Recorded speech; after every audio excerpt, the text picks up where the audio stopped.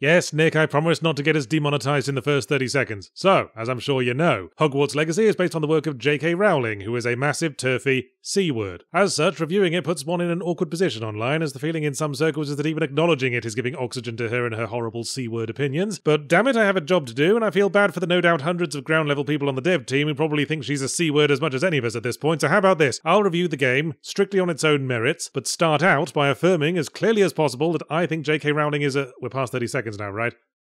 Does that offset things enough? The game's set in Victorian times and none of the Harry Potter characters from the books appear in it, so if it'd make you feel any better, you could just squint and try to convince yourself it's an adaptation of The Worst Witch, or Neil Gaiman's Books of Magic, or the Spellcasting 101 series, or Discworld, or any of the other 10 million things that came up with the idea for a nerdy schoolboy wizard before J.K. Rowling got her sallow, turfy hands all over the concept. Hogwarts Legacy is less be a character from Harry Potter and more be the main character in a work of self insert Harry Potter fan fiction. You play a student who starts Hogwarts in the fifth year, which is unusual, but they made an exception for you because you're that bloody great. Everyone wants to be your friend inside 30 seconds of conversation. You master every subject on your first go, and you're also the only person who can use a super special kind of magic for only the most super special people. And in the end, you save the entire school and everyone in it from apocalyptic disaster. Which is funny because you sound like a complete tit. I can only speak for the male protagonist whose voice has such an eager beaver twattishness about it that as a British person who went to a grammar school, I feel personally attacked. Oh yes, I did all my homework, teacher. May I sit on the lawn for ginger beer and buns? I strongly suspect they got actual teenagers in to voice the school kids, so what the game gains in authenticity, it loses in people who can actually act for shit. Apologies to the voice actor if they get wedged to the top of the stairs and back because of this. Anyway, the fan service is as front loaded as an ill fitting bra on prom night, so you get your very own wand and can micromanage the niceties of its length and material, which didn't seem to have a gameplay effect, but whatever if it makes a few more fans wet their house coloured knickers. Oh, of course, you get to pick your house too. You know how that works Gryffindor for heroes, Slytherin for villains, Ravenclaw for nerds, and Hufflepuff for the kind of people who tick the little box that says, Yes, I would like to receive emails about future promotions. But honestly, the game gets things off on the right foot. Protagonist played by Wilhelm von Twatty voice aside. We open with some exciting set pieces and introduce magic combat, which is fairly nuanced with a satisfying feel, even if it's a bit annoying when you're trying to hit a specific dude and the auto target seems to think it's more of a to whom it may concern situation. Then you get to school and there's lessons and characters to meet and mini games and a bit of intrigue, and I was thinking, gosh, this is actually rather jolly so far. I wonder when the other shoe will drop. Then your teacher says, Oh, you're new, aren't you? You'd better go and pick up your crafting equipment. And there we fucking go. Yes, there's equipable gear you craft upgrades for. Victorian era Hogwarts dress code was apparently a bit lax, because after a certain point you show up at class and it's school uniform, school uniform, school uniform, and then you at the end in a jester's outfit and gold lame bathrobe and a traffic cone on your head. And while you're picking up those crafting materials, take a good look at this open world we made. Why not make a start on the collectibles? Did we mention combat as a stealth option? Oh, well, that fucking fits, because you snuck this Jiminy Cockthroat bullshit in right under me nose. It's like the moment you first leave Hogwarts, the cardboard facade face plants into the dust and the true colours are revealed. No more jolly hockey sticks on the lawn for you, you snivelling little teacher's pet bitch. Time to get grinding lest thy numbers not go up. What a startlingly apt statement on the modern education system. So bolted onto the Hogwarts and Hogsmeade campus like an astroturf lawn nailed to the side of a toy box is an open world whose vastness is matched only by its pointlessness, consisting of 50 square miles of copy-pasted grassy hill with the occasional hamlet. That is, one house, one pub, and a communal sheep tied to a fence. And considerably more occasional combat encounters with one of the game's three or four enemy factions, copy-pasted so many times you'd assume Hogwarts was being besieged by the Mongol hordes. Combat remains tolerable, although one wonders why the entire region's defense and law enforcement is being left to the fucking after-school clubs, and the game keeps unlocking new combat spells, possibly for the sake of book accuracy, but they all basically do the same thing. Whether you levitate an enemy, or pull them, or push them, or freeze them, or turn them into a chair, any stun is as good as another, frankly. Although having said that, the transform spell has an upgrade that lets you transform dudes into explodey barrels that you can then throw at their friends, and that led to a serious drop in combat difficulty. Don't worry, it's not one of those unforgivable spells like the one that insta-kills dudes. This is perfectly acceptable because it insta-kills like three dudes at once. Hogfart's Dregacy casts a broad net of gameplay activities. There's also flying races and puzzles, and part of gathering crafting materials involves capturing animals and collecting them in your magic wardrobe. The game even tried to persuade me to start breeding them in there. Well, maybe you get off on cleaning manticore spunk off your pajamas game, but the broad suite of gameplay tasks combined with the dullness of the world gives it all a flimsy, shallow quality. Like a carpet covered in Ritz crackers. And there's the usual horrible AAA menu screens that insist on playing out their fucking book opening animations every fucking time you turn a page. And this annoyance compounds and compounds because you're constantly going into the menu to select quests and fast travel back to Hogsmeade to sell the nine shitty pairs of snooker referee gloves, clogging up your three ketchup packets of inventory space before you tackle Spider Cave 3 of 10 Squillion. Dog shit's Smegma starts well, but in the back half turns into the pieces for three boring board games jumbled up in a single uninteresting box, and as such, I don't recommend. Thank Christ for that. Probably the best possible outcome for me. I can advise against giving it money, even on its own merits, because it is, by the definition laid out in my Gotham Knights review, a game made by